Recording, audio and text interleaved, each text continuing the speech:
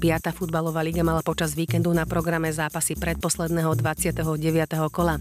CFK Pezinok Cela odohral posledný zápas na domácom ihrisku. Súperom bol tým Lokomotiva Devínska Nová Ves.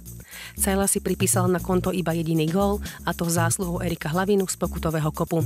Devínska Nová Ves zvíťazila 5-1. V nedelu 18. júna sa odohrá posledný zápas sezóny. CFK Pezinok Cela sa stretne s družstvom FK Vajnory na ihrisku súpera.